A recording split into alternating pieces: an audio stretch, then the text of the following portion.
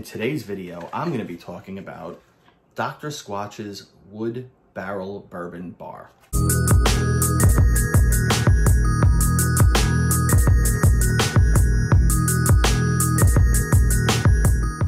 So this is another limited edition uh, Dr. Squatch bar of soap. He's they've had a couple, uh, the Area 51, they did a Peppermint one, they did a, a, Mars one. I know that this went, so if you have a monthly subscription, I think you got early access to this bar, and then they opened it up to everybody. If they're gonna, I would do the subscription. If every month they were gonna give a special limited edition bar.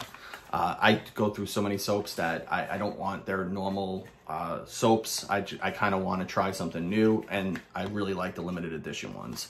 We'll get into the ingredients because I think the ingredients are always interesting because they, whatever the theme is, they kind of fit to that. Like the Area 51 had sand, uh, the Mars had like some cosmic seeds. Like there, there's some really cool things that they're doing, and I really like that.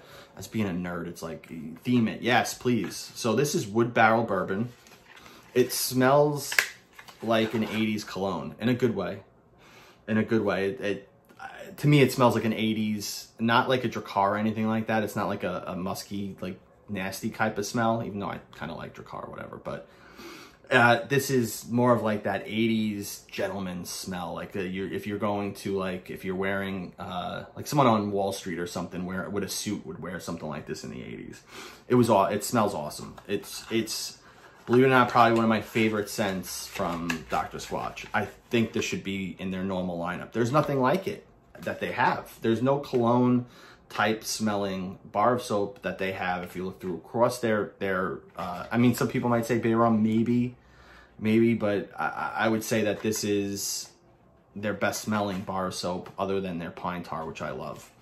Uh, let's go into the ingredients. So they're normal saponified oils, shea butter, natural fragrance, uh, Jimmy red cornmeal, brewer's yeast, sand, annatto powder, annatto powder, i always pronounce everything wrong. I know, I know. It's my New York accent or Brooklyn accent, really more.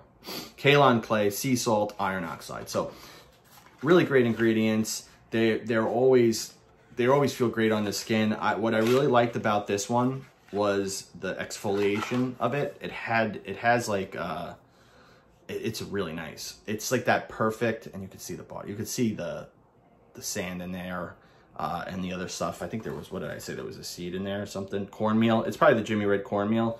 Really, really nice. You can see that exfoliation. It feels great. It's it's a little bit more exfoliating than I'd say uh, their pine tar, but just a very little bit more. I just like the way it felt. It's like a scratchy exfoliation. So it smells, it's they describe, which I really like, they describe on the side their scent, which is uh, a bourbon and oak. And like I said, it to me, it smells like cologne.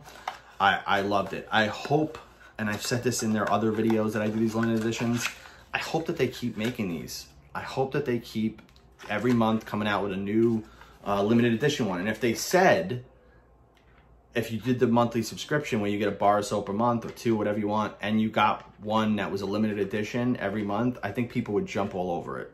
I think that would get people, more people to, to, to jump on something like this because you're going to get something that maybe you can't get your hands on. I mean, I get text messages from them. I think you sign up and they'll tell me when things like this come out, but I couldn't get this right away. I couldn't, I had to wait uh, a week before it was out, which I wish I would have got it um, sooner because I could do the review sooner, but great bar of soap. Really like the scent. I highly if you can get your hands on this one and you like that like cologne type scent get it. I hope they make this in other things like the, the deodorant which i use and i probably need to do a review on that because it's interesting. I i, I really like it and uh but there's some things that that are that i might not recommend to certain people. So i'll, I'll get into that in another video. But great great bar soap. Loved it. I, I if you've used this please let me know uh, I'm curious what you think of it compared to the other scents. I don't think there's anything like it from from uh, Dr. Squatch other than maybe a bay, maybe uh, I can't even say it's not bay rum, but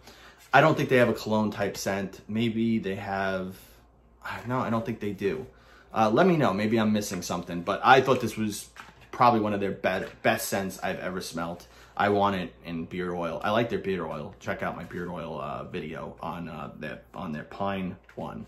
I really like it, especially because it has all natural essential oils. So if you're looking for something without a without fragrance, they have a great, great thick uh, beard oil. I have the pine one. It's like Christmas morning. I love it. So check out other products from Dr. Squatch. Their information will be in my description.